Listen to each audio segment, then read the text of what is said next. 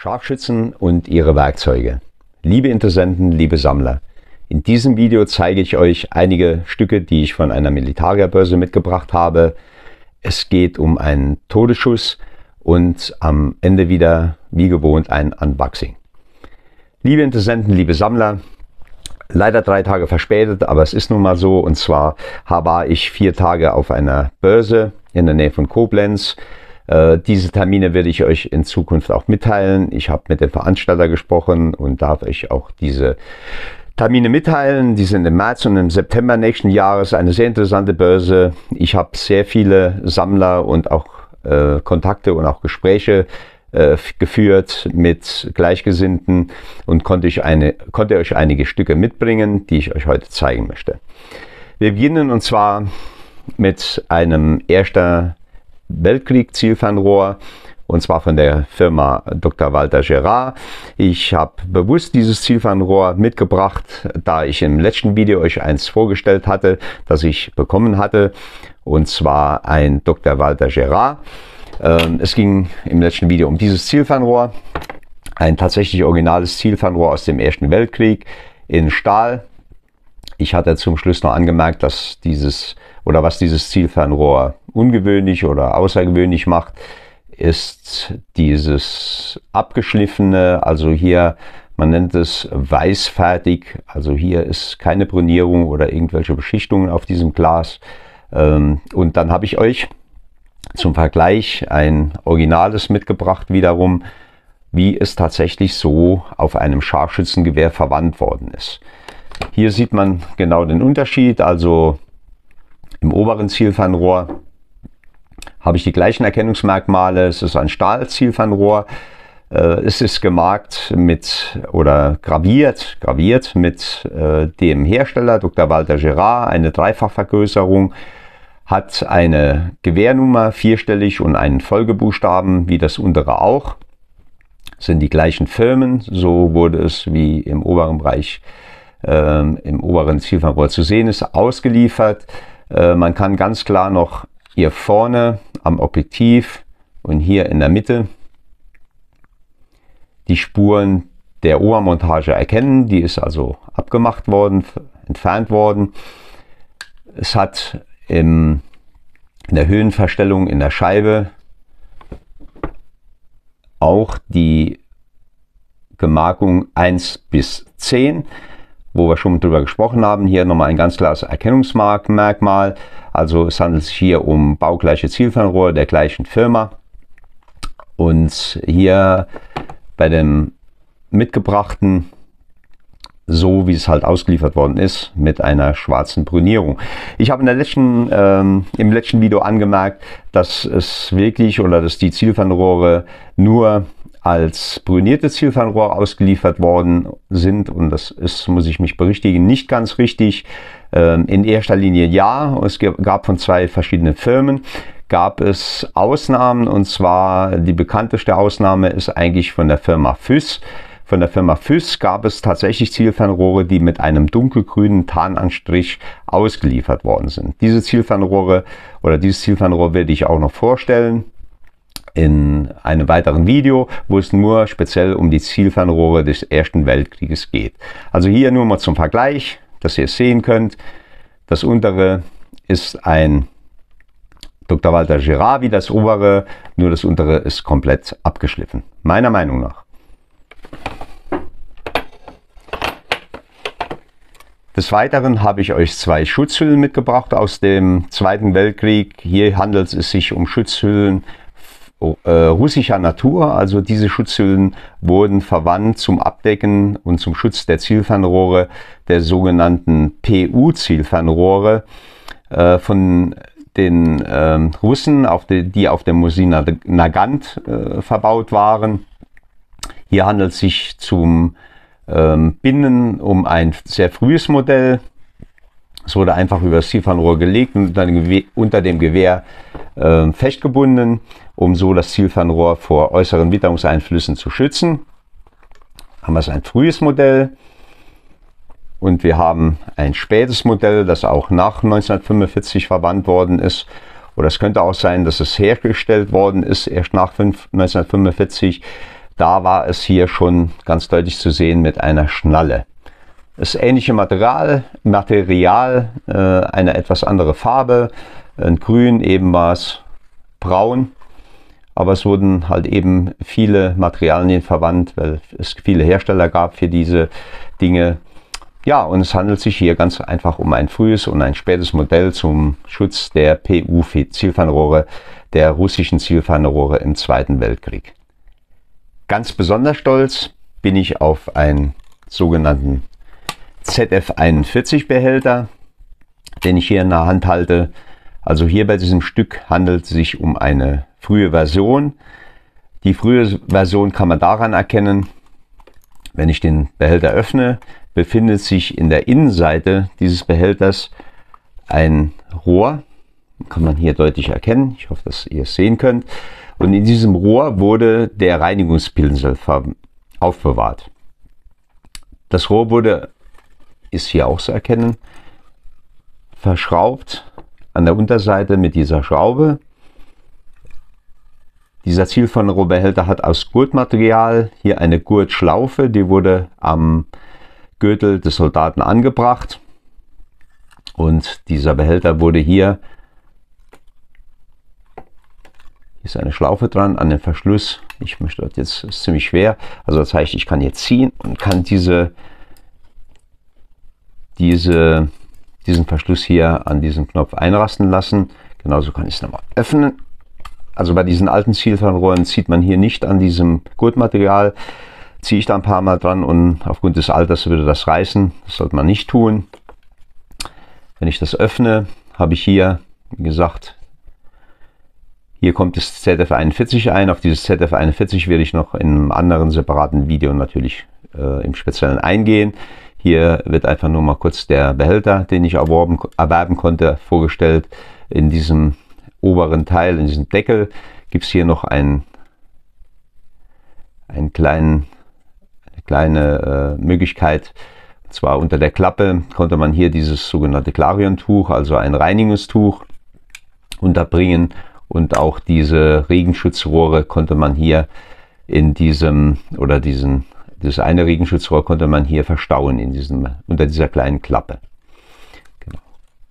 Also hier wie gesagt ein frühes Modell in der sogenannten Einheitsfarbe in einem sehr guten Zustand. Auch nochmal ich würde nicht sagen recht ungewöhnlich, aber hier auf vielen Behältern ist keine Nummer drauf. Hier steht eine vierstellige Nummer und ein Folgebuchstaben. Also hier ist dieses, dieser Behälter ist ganz klar einer oder war einer Waffe und einem Zielfernrohr zuzuordnen. Also ein frühes Modell, recht selten zu finden. Ich bin froh, dass ich es bekommen habe. ein ZF41 Behälter. So, und zum nächsten Stück habe ich mir oder hatte ich mir sehr viel Gedanken gemacht. Ähm, es handelt sich hier eigentlich um eine grausame Entdeckung. Ich nenne es jetzt mal so, aber es geht hier um Authentizität, äh, um ehrliche, um ehrliche Mitteilungen, wie gesagt, nicht um Verherrlichung von irgendwelchen Kriegs, äh, Geschichten. Ähm, hier geht es um wichtige Informationen oder um anschauliche Informationen. Äh, ich konnte äh, ein, ein Belegstück erwerben, was leider mal indirekt mit meinem Thema zu tun hat. Und zwar, es handelt sich hier um, zwar, ich habe die Übersetzung bekommen, es handelt sich hier um einen Toilettenbeutel eines japanischen Soldaten. Dieser Toilettenbeutel beinhaltete persönliche Gegenstände und wurde so auch nochmal an die Familie zurückgesandt des Soldaten. Und dieser Soldat wurde leider 1938 im Kriegsgeschehen tödlich verwundet. In diesem Beutel, wie gesagt, persönliche Dinge und auch ein sogenanntes Feldbuch. Hier sieht man die japanischen Schriftzeichen. Also die Übersetzung ist gerade am Laufen. Wie der Soldat hieß, weiß ich mittlerweile. Einiges wurde schon übersetzt. Hier steht alles handgeschrieben, wie bei uns, bei den damaligen Zweiten Weltkriegsdeutschen Soldaten, Wehrmachtsangehörigen im Soldbuch wird hier alles eingetragen oder wurde alles eingetragen von den dementsprechenden Vorgesetzten. Und ähm, diese, diese Schriftzeichen werden jetzt übersetzt. Hier ist alles dokumentiert über diesen Soldaten. Ja, das war dabei. Und dann durch Zufall ähm, konnte ich erkennen, durch was dieser Soldat zu Tode gekommen ist. Wie gesagt, ich habe mir jetzt lange überlegt, ob ich es zeigen soll, aber es ist einfach so und es war in dem Krieg so oder in Kriegen so. Es geht hier ähm, teilweise um grausame Dinge. Krieg hat seine eigenen Regeln oder auch keine, wie auch immer. Aber wie gesagt, es hängt mit meinem Thema zusammen. Dieser Soldat hatte eine Geldbörse am Mann. Und diese Geldbörse, die ich hier in Händen halte, die war dabei die steckte dem Soldat in der linken Brusttasche. Hier oben drin. Und bei näherem Hinsehen konnte ich erkennen, dass dieser Soldat von einem Scharfschützen durch die Geldbörse tödlich getroffen wurde. Dieser Geldbörse erkennt man hier den Einschuss dieser Schuss ging durch die Geld Geldbörse komplett durch. Hier durch. Hier weiter. Und alle Papiere, die hier drin waren, seine Karten etc., wurden durch diesen Schuss durchschlagen. Hatte ich durch Zufall gesehen, makaber und grausam, aber es war leider so, der Soldat kam durch diese Verwundung zu Tode. Ähm, es ist ein Belegstück für mich.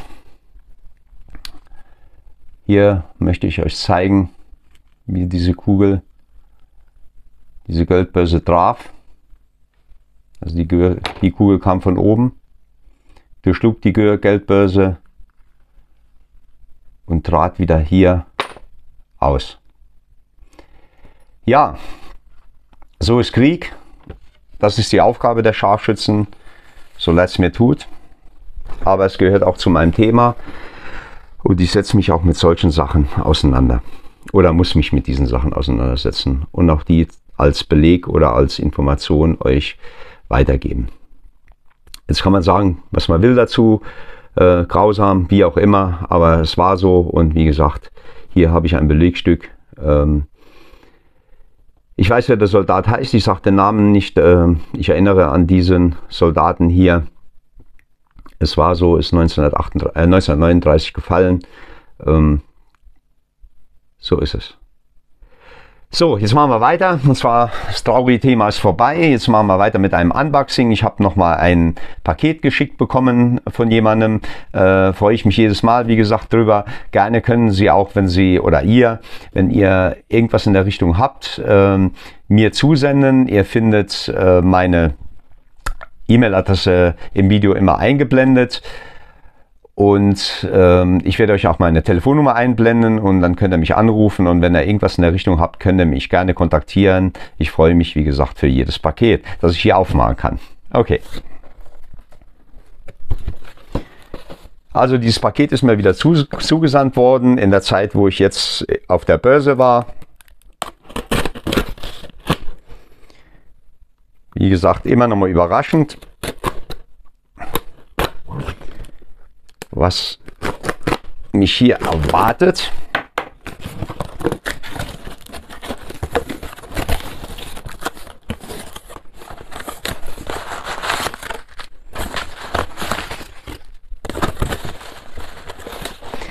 Immer wieder schön zu sehen, die, Zielfernrohre sind gut verpackt. Hier ist eine doppelte Verpackung. Hier ist auch noch ein Brief dazu. Den möchte ich jetzt aber nicht vorlesen aus Gründe der Diskussion.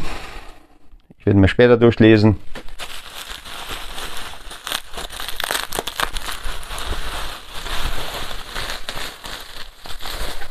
Oh.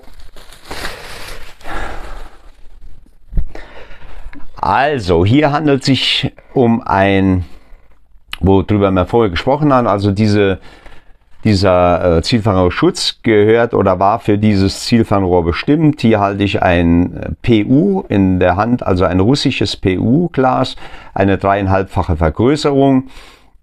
Und wie gesagt, dieses, dieser Schutz, dieser frühe Schutz war für dieses Zielfernrohr. Was macht dieses Zielfernrohr jetzt außergewöhnlich. Also ich habe es so noch nie in der Hand gehabt. Und zwar, es gibt bei Zielfernrohr ein sogenanntes Regenrohr. Und dieses Riesenrohr kann man hier sehen.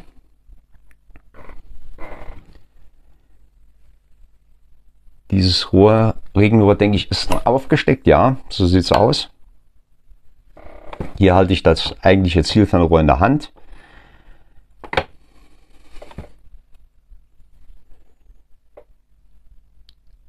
Klare Durchsicht. Was dieses Zielfernrohr ungewöhnlich macht, ist ganz einfach dieses Rohr. Dieses Regenrohr ist normalerweise dazu bestimmt, man steckt das aufs Okular, äh, aufs Objektiv, Entschuldigung. Aber hier in dem Fall steckt es tatsächlich auf dem Okular. Das heißt, wenn ich das hier auf das Okular aufstecke und schaue durch dieses Zielfernrohr durch, ich habe hier eine ganz kleine Durchsicht und dann muss ich so nah mit dem Auge an dieses Zielfernrohr ran, würde ich jetzt schießen, also wird sich der Schuss lösen und durch diesen Prellschlag, äh, Entschuldigung, würde dieses Zielfernrohr dieses Rohr mich am Auge treffen. Also ich habe normalerweise einen Augenstand um die 10 cm und hier muss ich ganz rangehen, dass ich überhaupt was erkenne. Also das ist äußerst ungewöhnlich, das habe ich in der Form noch nicht gesehen. Ähm, es könnte sein, und zwar wir haben hier ähm, diese Sichel, Hammer und Sichel mit dem Stern, wobei ich sagen muss, dieser Hammer und diese Sichel sind irgendwann mal, ich vermute mal nachträglich, sieht es fast so aus, mit einem Elektrogravierer eingraviert worden. Normalerweise ist die Gravierung sehr scharf und man kann es ganz genau erkennen. Also hier wie, wie gesagt, sieht es aus, als wenn es nachträglich angebracht worden ist. Zu den Zielfernrohren, also PU zu sagen, also PU wurde hergestellt äh, natürlich in Russland, aber nach dem Krieg auch in Tschechien, in Rumänien und auch weiterhin verwandt bei der NVA, also DDR.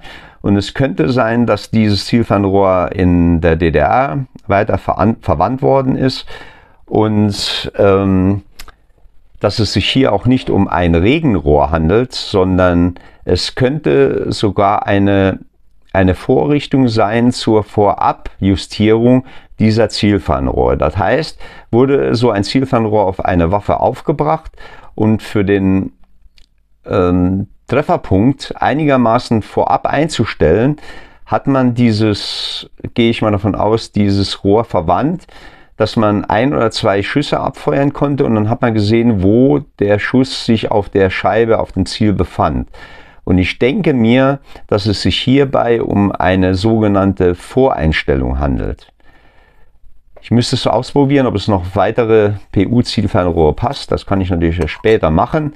Also hier ist auch nochmal ein, ein Ring zu fühlen. Also das scheint wirklich Jahre auf diesem Zielfernrohr, Zielfernrohr fest gewesen zu sein. Also außerordentlich ungewöhnlich. Hier haben wir jetzt einen Fall, da muss ich mich, wie gesagt, selbst nochmal schlau machen.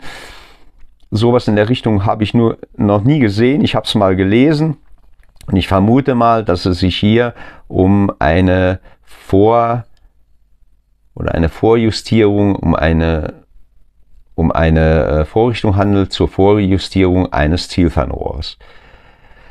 Wie gesagt, ich vermute mal, DDR, NVA. Aber eine Vermutung, ich mache mich noch schlau. Ich kann nicht alles wissen, wie gesagt, aber ich gehe jetzt mal davon aus. Ich freue mich auf jeden Fall, dass mir nochmal ein Zielfernrohr geschickt worden ist. Ähm, hier handelt es sich natürlich um, so wie ich das sehe, um eine recht seltene Geschichte. Ähm, ich habe so ein Rohr oder ein Aufsteckrohr noch nie in der Hand gehabt. Wie gesagt, mit dieser ganz kleinen Durchsicht. Aber wie gesagt, ich mache mich schlau, wird weiterhin nochmal Informationen liefern und ähm, werde, werde es in einigen oder in einer der nächsten Videos nochmal zur Sprache bringen, wo es speziell um diese russischen, russischen Zielfernrohre geht. Ja, liebe Interessenten, liebe Sammler, das war's wieder für heute. In diesem Video hoffe ich, dass, ihr euch, dass ich euch nochmal einige interessante Teile äh, aus dieser Zeit vorstellen konnte. Ich hoffe, dass euch dieses Video gefallen hat. Hat es euch gefallen, hinterlasst mir bitte in der unteren Zeile ein Like und ich würde mich sehr freuen, wenn ihr diesen Kanal oder meinen Kanal abonnieren würdet. In diesem Sinne wünsche ich euch einen schönen Tag. Bis zum nächsten Mal. Euer Volker.